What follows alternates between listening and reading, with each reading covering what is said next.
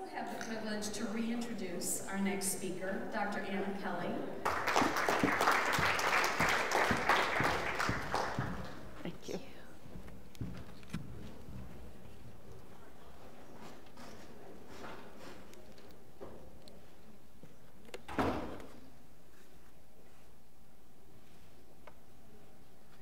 Good afternoon. I would like to thank the Interstitial Cystitis Association and all the wonderful people uh, who helped organize this event. I love it when things start and end on time. And so I am honored to be here today with so many wonderful speakers. Almost every time a speaker has uh, made a point, I've thought to myself, yes, I, I want to make that point too. But I promise not to copy all five or six speakers that have been here uh, already and, and, bring you something new today. Um, I'm a bit of a defector. I was trained in Western medicine and uh, employed by uh, various anesthesia groups delivering anesthesia to surgical patients. I also worked in chronic in the chronic pain patient uh, population in the hospital clinic and then later in private clinics doing blocks. And um, I no longer do that. I became very dissatisfied with the, being merely a technician. So I defected from Western medicine and now practice something called integral medicine. I've had a, a little bit more difficulty than usual in preparing for this talk, not because of the slides, those were done weeks ago, but because I'm going to be talking about something that's more, um, more nebulous, if you will, than scientific materialism. I'm going to be talking about something that's less well studied and documented, something that's less well measured, and something that's less material than surgical or other interventions like medications. This is integral medicine, where aspects of health that go beyond the numbers, beyond the microscopic findings, are just as important. So, health is seen as an integration of all aspects of what it means to be human. So this makes me ask the question well, what does it mean to be human? So we simply can't leave one aspect of our lives out. The truth is, I don't know what it's like to suffer from chronic daily pain.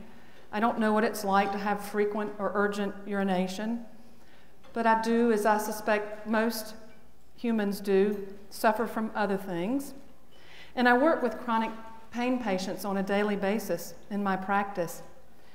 So it's with a spirit of great humility that I stand before you today and talk about my passion, acupuncture, in the integral medicine setting, and what I've learned from working with chronic pain patients over the years.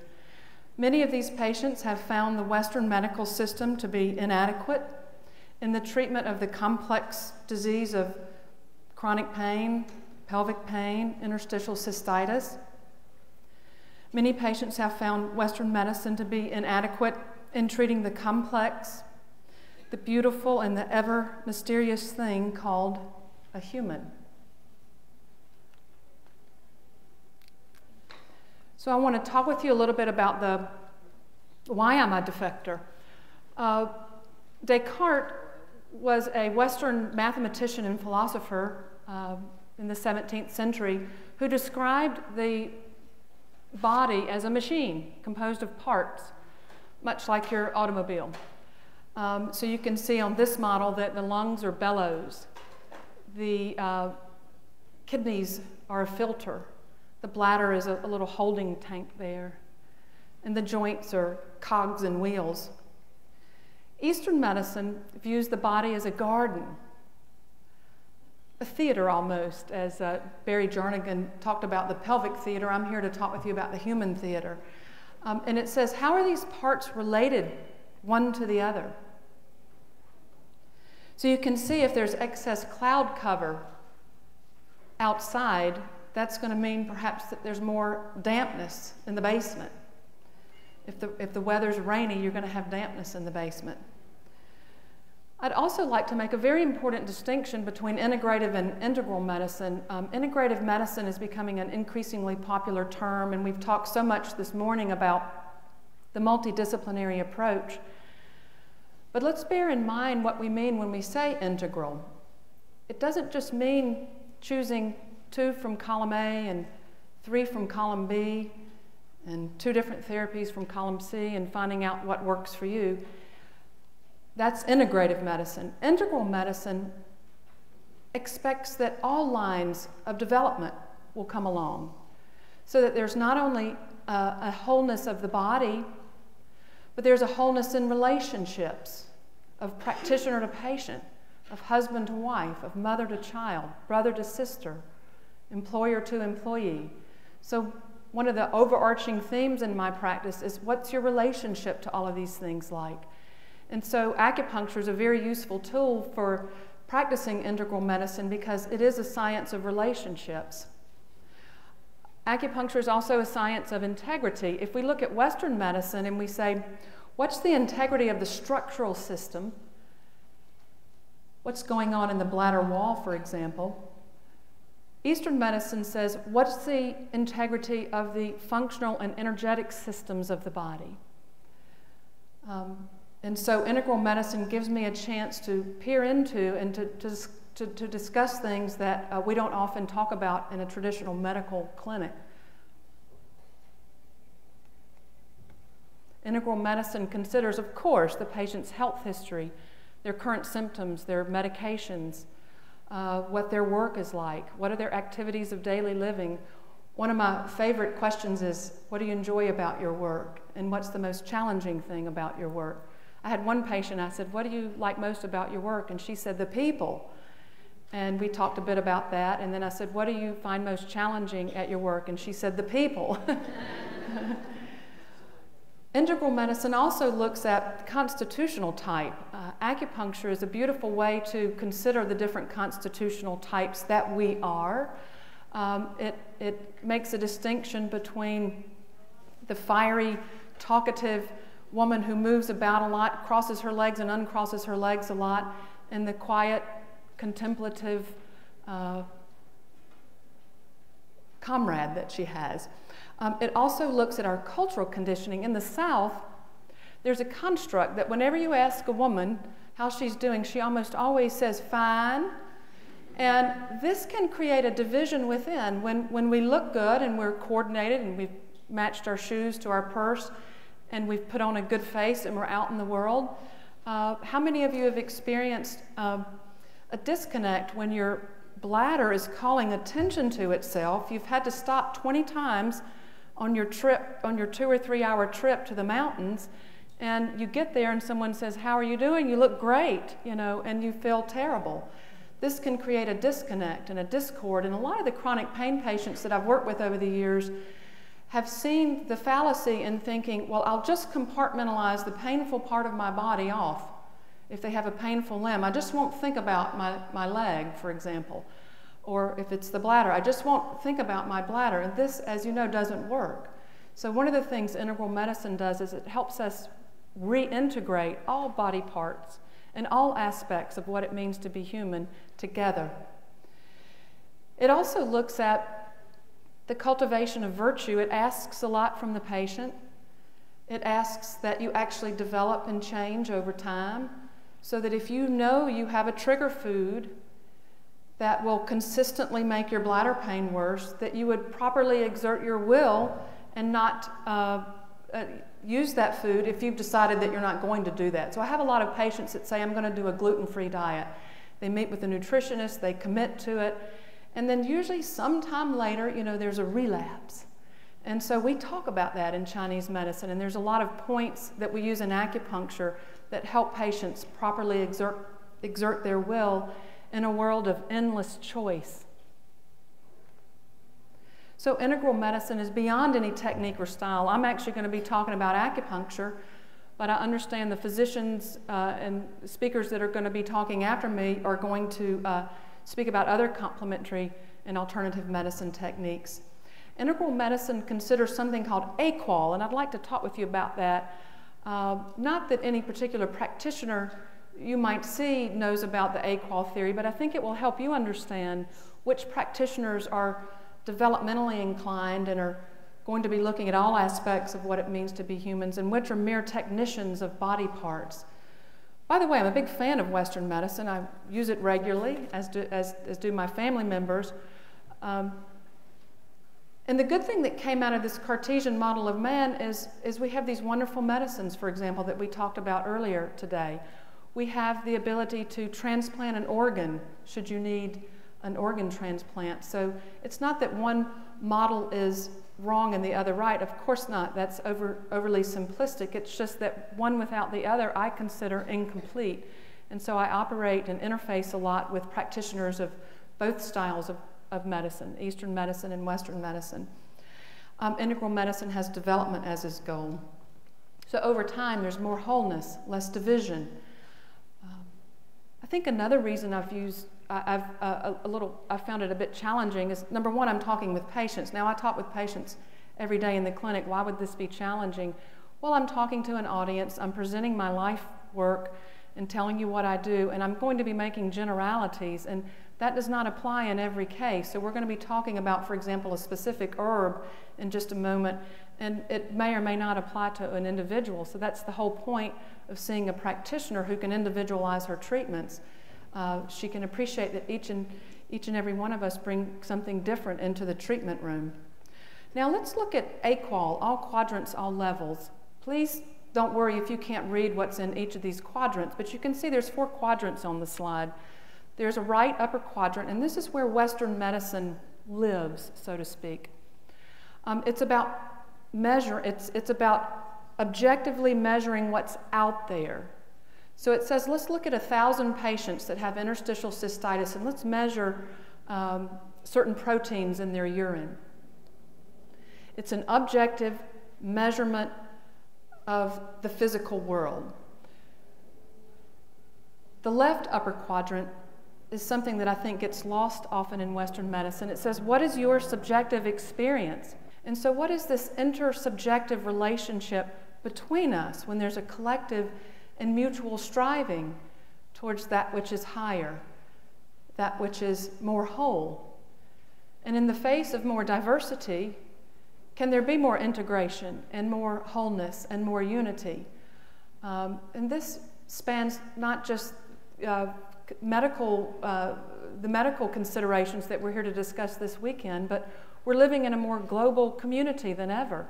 And so integral medicine considers what it means to be a human from a very, very large, even cosmologic perspective. We are sitting here, the end product, and hopefully there'll be more coming after us, but the end product of 14 billion years of cosmic unfolding. And uh, that puts me in a position of, uh, of great humility. I, I, think my life's but a blink in, in, um, in relationship to that 14 billion year unfolding. So I do often ask myself, why are we here as humans? You know, this is an important existential question that matters. The left lower quadrant is very important as we consider the Affordable Care Act and Obamacare how do we take care of ourselves as a society? So, what are the rules and laws and reimbursement issues that come up around um, health care? I broke free not only from Western medicine, but also from the very increasingly broken and perhaps corrupt third party payer system. Um, and, and yet, I'm struck that I use that third party payer system when one of my family members is hospitalized. So, uh, what are the rules and laws regarding that? What is our collective uh, decision on that when we decide to live together as a nation? And so that's the left lower quadrant. So all this stuff comes up in the treatment room. Um, and I love what I do. So if we summarize, the left hand side of the quadrants are the subjective experience that we all know about and it's what good poetry and good literature and music is about.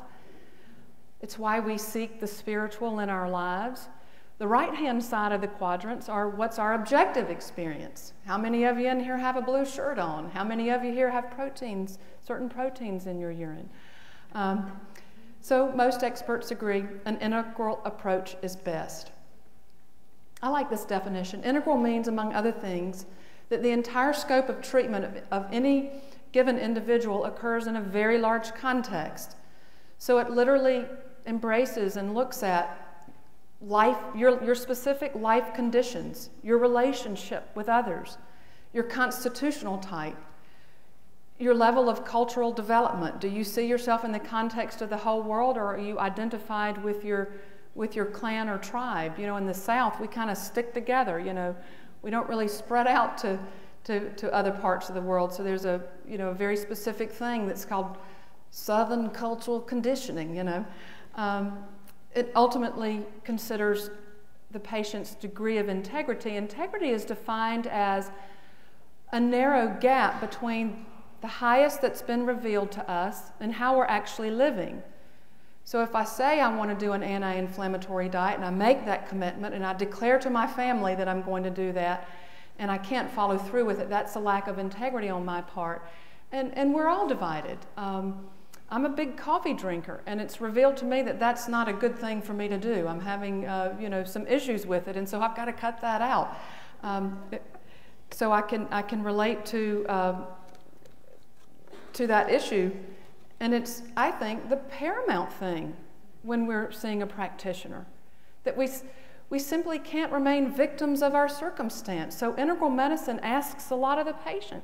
It asks the patients to take responsibility for the choices that they're making. And that's hard for us to do because we live in a culture of endless choice. And of course, integral medicine considers the symptoms. So let's talk about acupuncture because I found it a medicine so beautifully suited um, in the practice of in integral medicine. Acupuncture, simply put, is the insertion of solid, very thin needles into strategic points on the body to ensure the smooth flow of qi. The model for pain in Chinese medicine is that pain is the blockage of qi, it's the stagnation of qi in the body, somewhere in the body, either in an organ or in a meridian. And so we place needles in the body, and we'll talk about why the needle is so perfectly suited to its function. Uh, it actually moves electrons through the saltwater medium of the body. Uh, we'll take a look at that in a, sec- in a, in a minute. But there's also a, another aspect to acupuncture. This is sort of a right upper quadrant explanation of what acupuncture is and what happens to endorphins when you, when you place an acupuncture needle in the body uh, endorphins typically go up and other neurotransmitters are regulated. But also, what happens in the treatment room itself? So, it very much considers your subjective experience. Most patients describe it as relaxing and they actually look forward to their visits. Let's talk a little bit about some of the terminology just because it sounds so foreign to us, but it's actually beautiful and poetic. Let's talk about qi and then yin and yang, the organs and meridians. Qi is uh, present in all life. So qi points to the fact that we are energetic beings, but we are in a material form. So I love it. It sort of correlates with Einstein's brilliant discovery that E equals mc squared. Energy equals matter multiplied by a coefficient. We can look at, we can look at levels of chi. Contrast the 18 year old teenager that's broken a limb, that's hollering in the ER and raising a stink and requiring a lot of attention Compare that to that frail 85 year old grandmother who's curled up in the stretcher in the hall of the ER, not making a peep. They're both hurting, they both require attention. One has so much chi it's coming out in a great force, and the other's withdrawn and curled up in a ball. One is a very yang presentation of pain, hollering and screaming and kicking and uh, demanding attention, and, and another is a very yin presentation curled up in a ball, being very quiet, probably cold, needs a blanket. So, yang and yin are complementary terms. Uh, we can't experience what it's like to be in hot water unless we've ever been in cold water. So, they're relative terms. They also transform one into the other. So, just as night transforms into day, that's a metaphor for, I mean, that's a, we, we can look to yin transforming into yang and see that the two correlate. So, uh, for example, when it's dark outside is, is really when we should be sleeping. So I work with a lot of night workers, ER nurses and physicians, and other night workers. And there's a very specific uh, thing that we do to reset the, the yin yang clock, so to speak. We're meant to be awake, engaged, alert, and interested during the day. That's the yang time of day, and sleeping and restored and restful at night. So here's a list of yang things, and here's a list of yin things. The, arch- the archetype for uh, the yin thing is the nursing mother. The nursing mother holds the baby close to her chest. There's milk being transferred from the breast to the baby. Uh, there's the female tenderness, quiet touch. The archetype for yang activities is the male plowing the fields. His, the yang surface of the body, which is the back, is to the sun. Um, he's digging and sweating in the sun, um, and he's actually uh, doing a lot of hard work. So that's some differences between yang and yin. So in Chinese medicine, I'm always asking, is this a yin phenomenon or a yang phenomenon? And we'll talk about how that applies to IC in just a second. The organs are all related to each other you can see that the yang organs are mostly hollow organs, and their paired yin organs are mostly solid. So bladder goes with kidney, small intestine with heart, and so forth. There's also an interesting relationship between the bladder and the small intestine, and so patients do, in fact, some patients do, in fact, do very well with an anti inflammatory diet or a gluten free diet because there's a relationship between heat or inflammation in the small intestine and uh, interstitial cystitis pain, bladder pain. This heat gets transferred through paired organs to the bladder. So often we'll spend quite a bit of energy healing the gut in a patient with IC or pelvic pain, and this can make a big difference in the quality of their life. So the needle uh, actually acts like a little micro battery, and this is a right upper quadrant uh, explanation in our AQAL theory, but it's a beautiful explanation because we're actually doing something with the needle. We're moving stuck energy, if you will, from one place in the body to the other. Whenever you place a needle in the skin, it's warmer, of course, on the inside of the body than it is on the outside of the body. And whenever there's a temperature differential across a metal, there's a small but measurable electrical potential. So, uh, this is potentiated through two things with the needle. One is a bimetallic configuration. Most acupuncture needles are comprised of metal at the shaft, and then there's a coiled metal that's often a second metal that cools that part of the needle and potentiates this temperature gradient, which then uh, potentiates the electrical gradient activity of the needle. So we're actually directing electrons through the body. Now, I don't actually practice something called traditional Chinese medicine, but it's a useful way to talk about how IC is, is seen from the TCM point of view. TCM is comprised of acupuncture and related techniques such as cupping. Uh, we also use herbs in our clinic. And uh, I, can make, I can make Chinese medicine pretty simple for you. If something's cool, you warm it up. If something's too hot, you cool it down. If something's deficient, and a lot of my patients are deficient, they're so exhausted by their pain, um, they get winded walking up a flight of steps. We're going to try to add more energy to that patient. We may use an herb called mugwort or Artemisia vulgaris in a technique called moxibustion. Now, the literature review is, is scarce.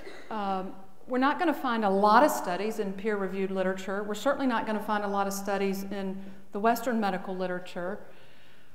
But there's been a few that demonstrate that this thing called electroacupuncture is very useful for intractable interstitial cystitis. So there's a couple different ways to do that. Uh, there's certain types of electrical acupuncture that disperse excess, and there's certain types of electrical acupuncture that strengthen or tonify deficiency. So, anyone who's practicing electroacupuncture on a regular basis will know and be able to speak to this. And there's currently more than one NIH study underway to evaluate the efficacy of acupuncture in IC patients. And here's some useful websites if you want to look into that. But I was very interested that the NIH takes an interest in, in uh, establishing the uh, efficacy of different complementary and alternative treatments. And a, a big area of study is, in fact, acupuncture.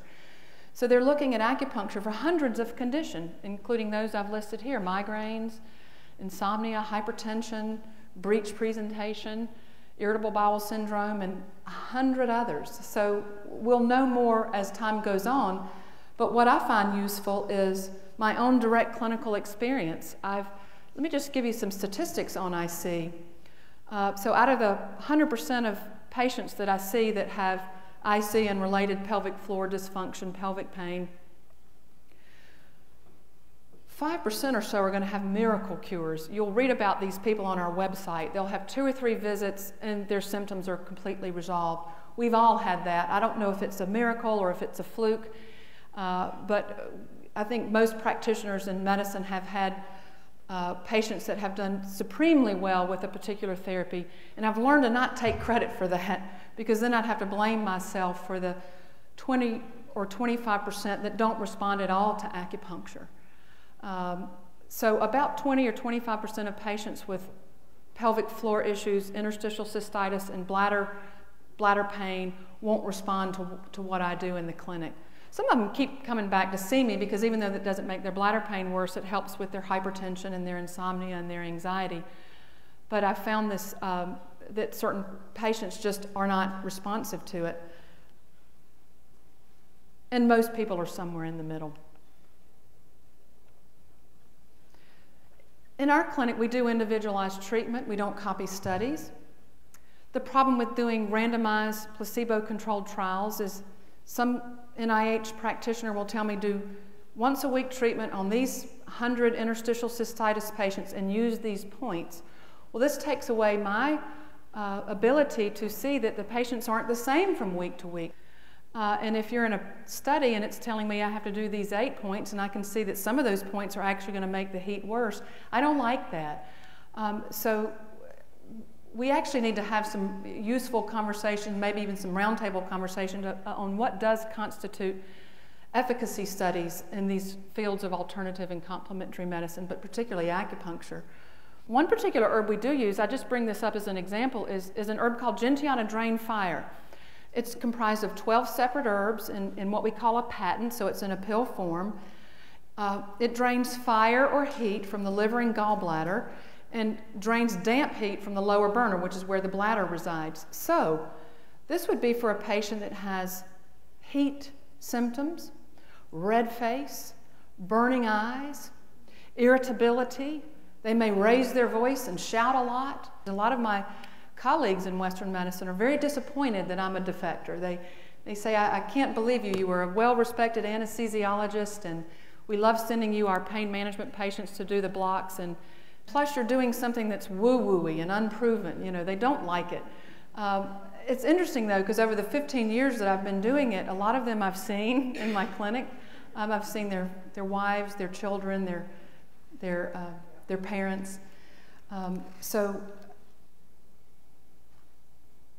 the definition I, I like of, of humility is being interested in what we don't know. So please invite physicians into your life that are interested in what they don't know, and we'll look into uh, these complementary and alternative therapies.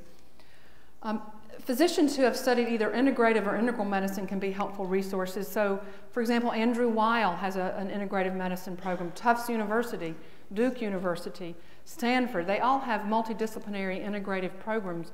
And so these can be useful resources. But the truth is, most of us are getting care in private clinics, aren't we? Um, but you can use these uh, places as resources.